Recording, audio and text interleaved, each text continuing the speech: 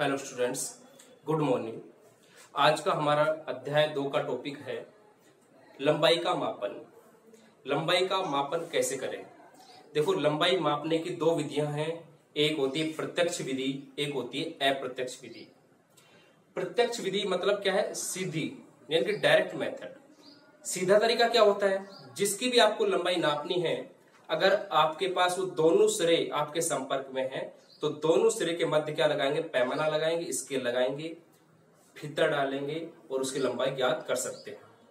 लेकिन कभी कभी क्या है, एक ही सिरा हमारे पास है, जैसे हमें पहाड़ की ऊंचाई ज्ञात करनी है, या हमारे और पहाड़ के बीच की जो, पहाड़ की चोटी है, उसकी मध्य दूरी ज्ञात करनी है तो हम वो संभव, उस प्रत्यक्ष प्रत्यक्ष विधि से संभव नहीं होगा। क्योंकि दूसरा सिरा हमारे पास स्केल ले जाने के लिए वहाँ पे इतना मतलब स्केल ले जाना संभव नहीं है। और ना हमारे संपर्क में दूसरा सिरा है। तो ऐसी कंडीशन के अंदर, यानी कि जब दूसरा सिरा हमारे संपर्क में नहीं है तो वो लंबाई मापने के लिए हम अप्रत्यक्ष विधि का उपयोग करते हैं। और इसके अंदर अप्रत्यक्ष विधि का जो मेन टाइप है, लंबन विधि तो उसका डिस्कस करेंगे लंबन विधि क्या है और प्रत्यक्ष विधि क्या है। तो सबसे पहले देखिए, लंबाई का मापन तो इसमें दो विधियाँ होती हैं। एक तो होती है पहली विधि क्या होती है? प्रत्यक्ष विधि जैसे मैंने आप, अभी आपसे डिस्कस किया। प्रत्यक्ष विधि। ठीक है? दूसरी है अप्रत्यक्ष विधि। प्रत्यक्ष विधि तो क्या है? नाम से पता चला डायरेक्ट यानी कि जब। जिसकी लंबाई नापनी है जब किसी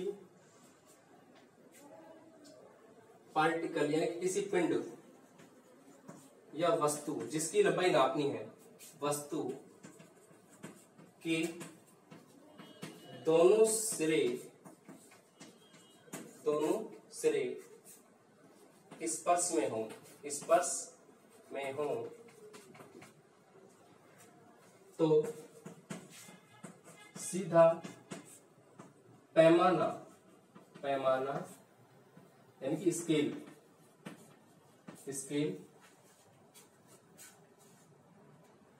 डालकर लंबाई ज्ञात कर सकते हैं। लंबाई ज्ञात कर सकते हैं। ठीक है? ये क्या है? सीधी विधि अब इसके अंदर देखो सीधा तरीका क्या क्या है? जैसे मान लीजिए इसमें रेंज है, दस की घात माइनस तीन मीटर से और दस की घात दो मीटर। मतलब माइनस दस की घात माइनस तीन मतलब एक मीटर का हजारवा हिस्सा। यानी कि एक एम कितना हो गया?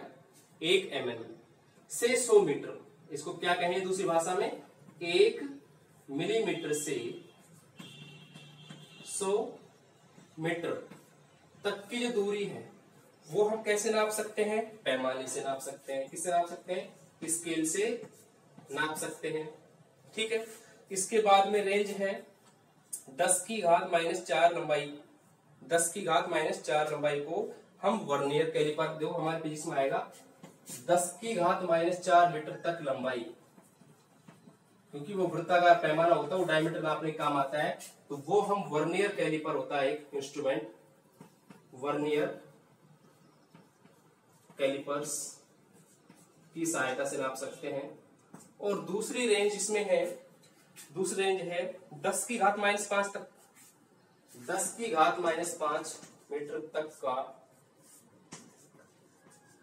आता है स्क्रू गेज क्या होता है? स्क्रू गेज या स्फेरोमीटर क्या बोलते हैं? स्फेरोमीटर इसको पंचमापी बोलते हैं और स्फेरोमीटर बोलते हैं, गोलाई मापी बोल सकते हैं। स्फेरोमीटर से माप सकते हैं। लेकिन अप्रत्यक्ष विधि क्या होती है? ये तो क्या डायरेक्ट मेथड थी?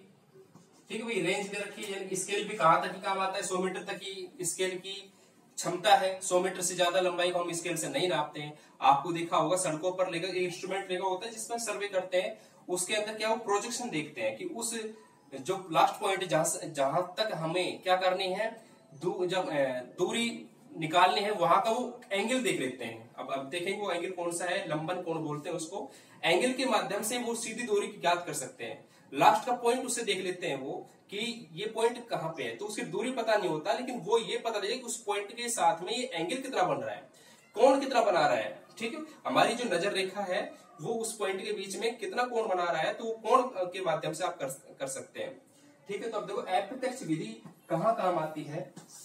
अप्रत्यक्ष का मतलब इनडायरेक्ट अप्रत्यक्ष विधि, यह विधि यह विधि, तब काम में आती है, तब काम में आती है कब काम आती है, जब किसी वस्तु जिसकी हमें लंबाई नापनी है, किसी वस्तु या पिंड के दोनों सिरे, के दोनों सिरे हमसे दूर हैं, हमसे काफ़ी दूर है, यानी कि छू नहीं सकते उसको। तो दूरी ज्ञात करने के लिए क्या करते हैं? अप्रत्यक्ष विधि, जैसे पर्वत की ऊंचाई, पर्वत की ऊंचाई, पृथ्वी से उपग्रह या सितारे की ऊंचाई आती। हम इस विधि से ज्ञात करेंगे। या कोई बड़ा या लंबा टावर हो, उसकी ऊंचाई में हम ज्ञात कर सकते हैं। ठीक है? क्योंकि 100 मीटर से ज़्यादा 100 मीटर से ज़्यादा ऊंचाई जो जहाँ पर भी काम में आ गई तो हम इस विधि का प्रयोग करते हैं। यह है अप्रत्यक्ष विधि। अप्रत्यक्ष विधि का जो मेन कारण है तो अप्रत्यक्ष विधि को यानी कि इसे इसे हम लंबन विधि भी कहते हैं। इसे हम लंबन विधि, इसको इंग्लिश में कहते हैं पैरलेक्स। Parallax method. क्या कहते हैं? पैरलेक्स मेथड भी कहते हैं। अब वो पैरलेक्स मेथड का हम डिस्कस करेंगे। ठीक है? वो पैरलेक्स मेथड क्या है, वो हम डिस्कस करेंगे। देखिए, क्या है लंबन विधि?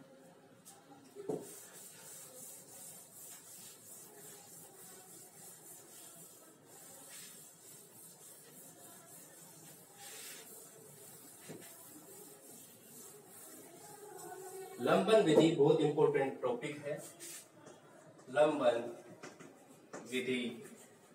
इंग्लिश में क्या बताया था अभी? पैरलक्स मेथड ठीक है? वो होती क्या है? एग्ज़ाम्पल देखिए। जैसे मान लीजिए बोर्ड पे कोई एक बिंदु है, ठीक है? और इस बिंदु को सबसे पहले मैं अपनी दाई ओर की आँख बंद करके और बाई आँख से देख रहा हूँ इस बिंदु को। तो मेरी नज़र रेखा और इसके बीच की दूरी है कुछ, ठीक है? ऐसे इसी पॉइंट को मैं बाई आँख बंद करके दाई आँख से देख रहा हूँ। तो दूरियाँ तो बराबर रहेंगी, जैसे मान लीजिए ये मेरी पहली आँख थी और ये दूसरी आँख है। तो दोनों आँखों के मध्य जो दूरी है, उसको बोलते हैं आधारक। क्या बोलते हैं? आधारक। ठीक है? और ये एक पॉइंट है जिसकी मुझे अपने से दूरी ज्ञात करनी है। तो ये आधारक है और ये हमारी क्या है? दूरी, ये क्या हो जाएगी इसकी? लंबाई। ठीक है? तो लंबाई ज्ञात कैसे करते हैं? ये जो कोण हो गया, दोनों नज़र रेखाएँ थी। ये क्या है? ये पहली नज़र रेखा थी, ये दूसरी नज़र रेखा थी। पहली आँख से के द्वारा देखा गया। तो ये नज़र रेखा है, ये नज़र रेखा। प्रथम नज़र रेखा, ये कैसी है? प्रथम नज़र रेखा। और ये कौन सी है? द्वितीय नज़र रेखा। आपको पोजीशन देखो मैंने जिस आँख से अब ये देखा एक बंद करके तो ये पोजीशन अलग अलग नज़र आई। तो अलग अलग किसके कारण ये कि जो कोण बना, यानी कि अलग दोनों लाइनों के बीच में कोण बना, इसको बोलते हैं पैरेलेक्स एंगल और हिंदी में कहते हैं इसको लंबन कोण। क्या कहते हैं? लंबन कोण या लंबनिक कोण। लंबन कोण या लंबनिक कोण। समझ में आया? कि आधार मतलब आधार। जहाँ से हम देख रहे हैं, वहाँ दो पॉइंट ऑफ़ चेक किया हमने। तो उन दोनों के मध्य की दूरी बहुत ही अल्प दूरी होती है। तो अल्प दूरी को हम क्या कहते हैं? आधार। यानी कि ए पॉइंट है, ये बी पॉइंट है, मान लीजिए सी पॉइंट को हम देख रहे हैं। तो जो लंबनी कोण है, वो तो क्या है? थीटा। क्या है? थीटा। और नज़र रेखा कौन कौन सी है इसमें? एक तो है ए बी अब यहाँ द्वितीय कौन सी है? ये है बीसी और प्रथम कौन सी थी? एसी समझ में आया? आधार कौन है आधारक है ए बी आधार कौन है? ए बी समझ में आया? तो जिस तरीके से आप एक, आपने दसवीं क्लास में पढ़ाया कि ये है व्रत, ये है इसका केंद्र। व्रत का क्या है? केंद्र। ये है त्रिज्या, ये है त्रिज्या। और इस हिस्से को हम क्या कहते थे? जैसे ये परिधि का एक भाग है, इसको हम कहते थे चाप क्या कहते थे? चाप और ये त्रिज्याओं के मध्य बना कोण है। तो हम त्रिज्या और कोण के माध्यम से ये चाप की लंबाई ज्ञात कर सकते थे। और चाप की लंबाई देकर फिर कोण ज्ञात हो तो हम त्रिज्या ज्ञात कर सकते हैं। अगर त्रिज्या भी ज्ञात है और चाप की लंबाई भी ज्ञात है तो हम इस कोण का मान ज्ञात कर सकते हैं। और वो सूत्र कौन सा था? अगर आपको याद हो तो कोण बराबर चाप बटा त्रिज्या। आपको ध्यान से समझना है, ये चाप है और ये आपका जो ये त्रिज्या है और ये त्रिज्या, वो यही काम कर रही है एक तरह से। ठीक है? ये चाप है, उस चाप का काम ये करेंगे, ठीक है? बताएँगे हम कि यहाँ पे चाप तो होता है कि गोलाकार गुलाई में आ गया वो ये बिल्कुल सीधी रेखा क्यों आती है? वो भी मैं कारण बताऊँगा। कोण बराबर चाप बटा त्रिज्या। तो ये जो कोण होता है, केवल डिग्री मान नहीं आएगा, ये जो मान प्राप्त होगा तो वो रेडियन में मान प्राप्त होता है। किसमें प्राप्त होता है? रेडियन में। तो चाप का जो मान होता है, वो होता है कोण गुणा त्रिज्या। क्या होता है? कोण गुणा त्रिज्या। ठीक है? जब भी तो हम जो पूरी जो एक तरह से परिधि होती है, वो टू पाई गुणा में आर होता है टू पाई तो कौन बनता है? तीन साठ डिग्री बनता है पूरे चक्र में कौन तो उसको रेडियन में टू पाई लिखते हैं। एक सौ अस्सी को क्या कहते हैं पाई और टू पाई क्या होता है? तीन सौ साठ डिग्री गुणा में आर। जब भी तो टू पाई आर बनता है परिधि। वो भी पूरा चाप ही एक तरह से। तो इसी तरीके से हम क्या करेंगे? कोण का मान निकालेंगे। ठीक है? ये जो कोण है, जैसे मान लीजिए ये है यहाँ पे, थीटा बराबर चाप है यहाँ पे ए बी चाप का मान कौन होगा? ए बी ठीक है, जो आधारक है। और यहाँ पे कोई सा भी ले सकते हैं, चाहे तो ए सी ले सकते हैं, या आप ए बी के बटा में बी सी कर सकते हैं। दोनों इस तो ये जो लंबनी कोण का मान है, आधारक बटा में नज़र रेखा। आधारक बटा में यहाँ से जो पॉइंट से और जो बिंदु से और जो हमारा जो दृष्टि बिंदु है, जब जिस पॉइंट को हम निशाना कर रहे हैं, जो जिसे जहाँ तक हमें लंबाई ज्ञात करनी है, उस बिंदु के मध्य जो दूरी हमारी काल्पनिक दूरी है, वो दूरी, ठीक है? तो ये है आधारक बटा में आधारक बराबर बटा में। देखो, लंबनी कौन है, ये लंबन कोण का मान है। लंबन कोण बराबर आधारक, आधार होगा ए से लेकर बी तक की दूरी, और नीचे क्या होगा? नज़र रेखा या दूरी, जो हमें ज्ञात करनी है। अज्ञात दूरी। अज्ञात लिख रहा हूँ कि जो ज्ञात हमें करनी है, इसलिए अज्ञात दूरी। ठीक है? समझ में आया? तो इस तरीके से हम मान निकालेंगे अब देखो हमारा मेथड शुरू होता है। ये तो मैंने आपको प्रैक्टिकली बताया थोड़ा। ठीक है? अब देखो। मान लीजिए आपको दूरी निकालनी है।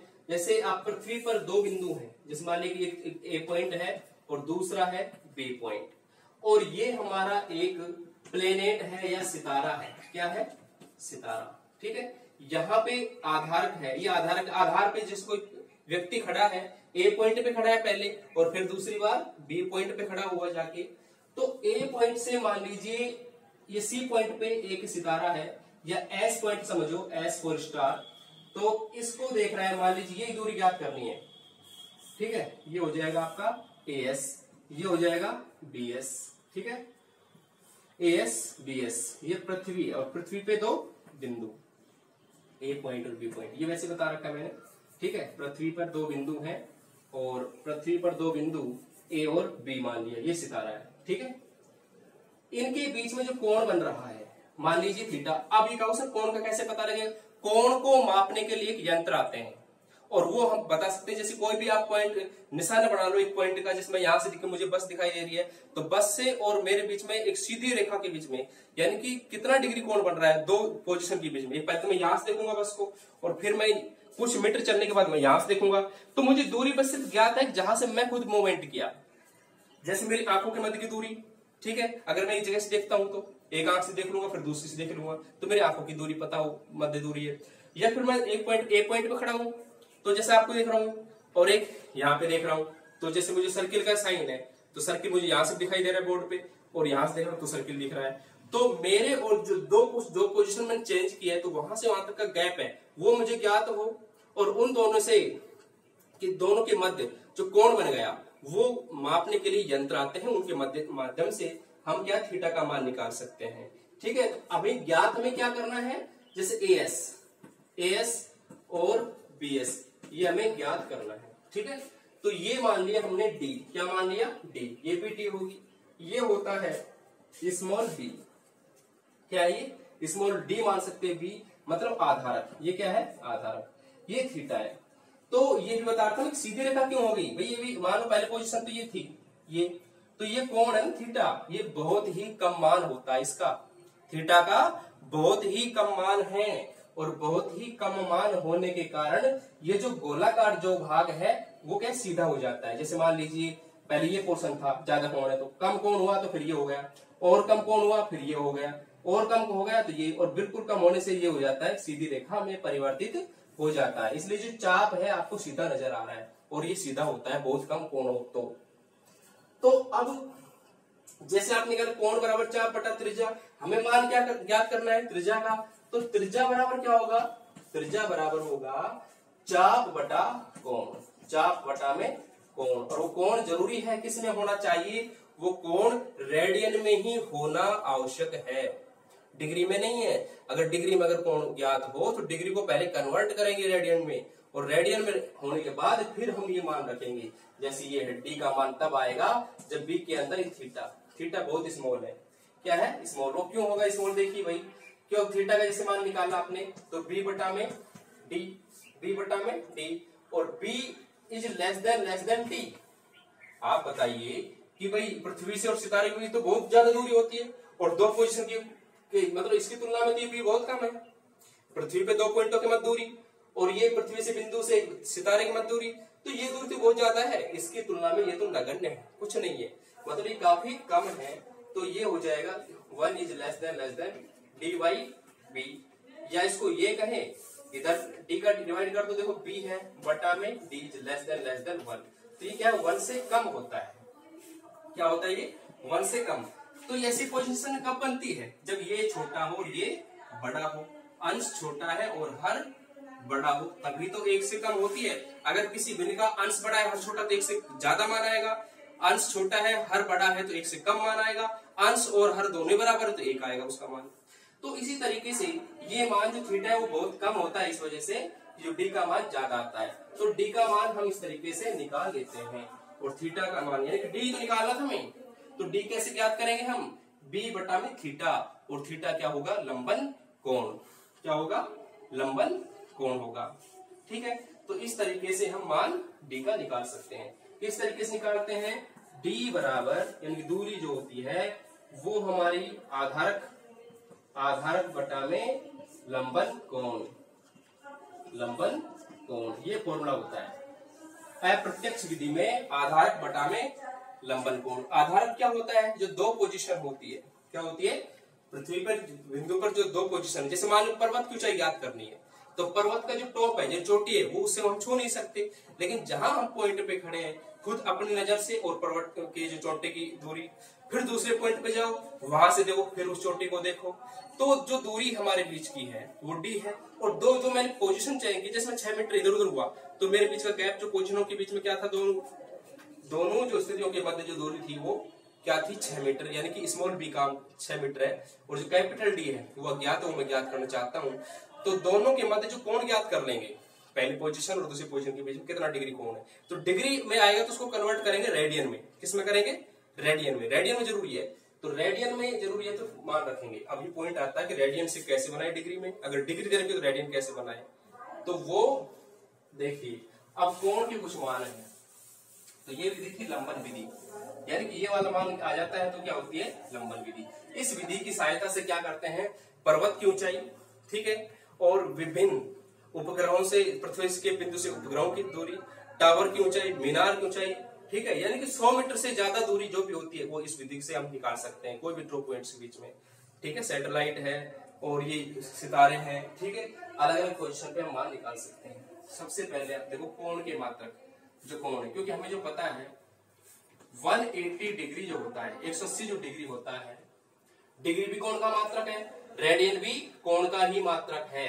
तो 180 डिग्री होता है, वो होता है पाई रेडियन क्या होता है?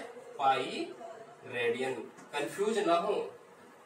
कंफ्यूज इसलिए ना हो कि पाई का मान तो वही होता है जो हमने बाईस बटा सात पढ़ा था। या फिर इसको तीन पॉइंट एक चार भी कहते हैं। या आगे तक जाते हैं ऐसे? आता ही रहता है इसको फिर लगभग ये भी मानते थे पाई का मान तो भी वही है, पहले वही था। लेकिन पाई रेडियन मैं पाई की बात नहीं कर रहा। पाई का मान तो वही रहेगा बाईस बटा सात। लेकिन पाई रेडियन का मान एक सौ अस्सी डिग्री होगा। क्योंकि रेडियन क्या है? कौन सा मात्रक है? तो एक डिग्री क्या होगा? पाई बटा में 180 रेडियन क्या होगा? 180 रेडियन सेम इसी तरीके से एक डिग्री का जो मान निकाले तो पाई का मान तो वही बाईस बटा सात, और 180 का और भाग दे देते हैं तो ये मान पॉइंटों में आता है। क्या मान आता है? इसको जब सोल्व कर लेते हैं तो इसका जो मान कितना आता है? इसका जो मान आता है, वो आता है एक पॉइंट सात चार पाँच। एक पॉइंट सात चार पाँच गुणा दस की घात माइनस का दो रेडियन।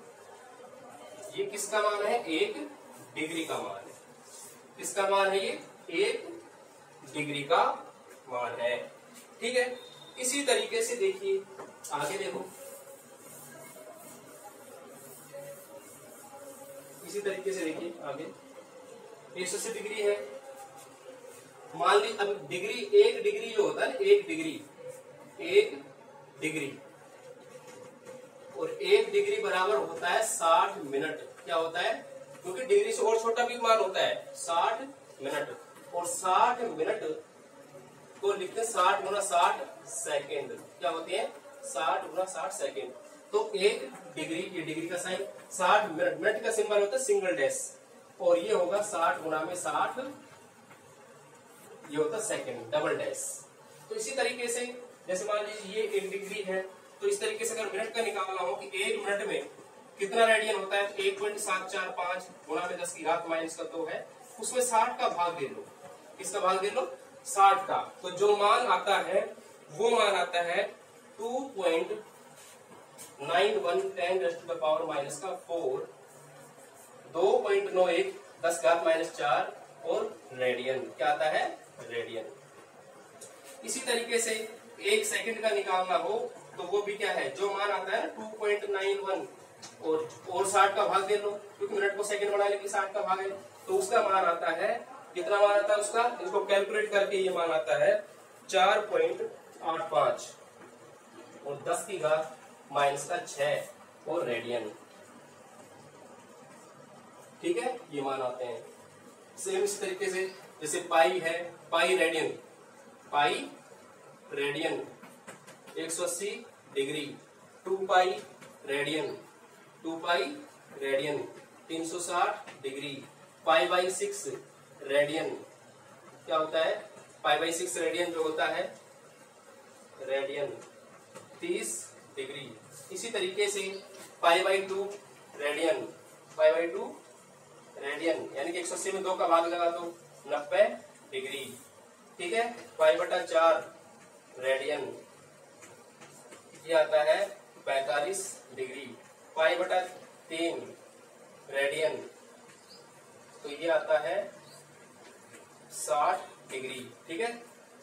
अगर रेडियन से डिग्री बनानी है और डिग्री से रेडियन बनाना है तो क्या करते हो? एक डिग्री में जैसे पाई बटे एक सौ डिग्री आया तो सेम इसी तरीके से है। जैसे मान लीजिए, डिग्री से डिग्री से रेडियन बनाना, ठीक है? तो मान लीजिए डिग्री जो वैल्यू है तो जो डिग्री मान है, डिग्री का जो मान होता है डिग्री में, उसको गुना कर देते हैं पाई बटा एक सौ अस्सी डिग्री से ये मान है। जैसे आपको बनाना है 100 यानी कि जैसे 45 डिग्री है तो 45 डिग्री वो किससे गुना किया? 45 गुना पाई बटा एक सौ अस्सी से, और ये आ जाएगा पाई बटा चार रेडियन, ठीक है? ऐसे। पाई बटा चार रेडियन ठीक है? तो ये पाई का जो मान लिख देंगे, पाई का मान अभी बताया मैंने बाईस बटा सात तो रेडियन में आ जाता है, ठीक है? इस तरीके से है। तो पाई बटा एक सौ अस्सी डिग्री से गुणा कर दो, और पाई का मान तो वही होता है, बाईस बटा सात। लेकिन पाई रेडियन एक डिग्री होता है, ठीक है? तो इसी तरीके से है, हम generally pi radian one degree मान करके डिवाइड कर देते हैं, और फिर डिग्री में मान निकाल सकते हैं, ठीक है? सारे मान हम निकाले हैं, इसी तरीके से ये आपको करना है। ठीक है? कोई प्रॉब्लम आती है तो आप कॉल कर सकते हैं कमेंट बॉक्स में लिख सकते हैं। लेकिन चैनल को सब्सक्राइब करना ज़रूरी है।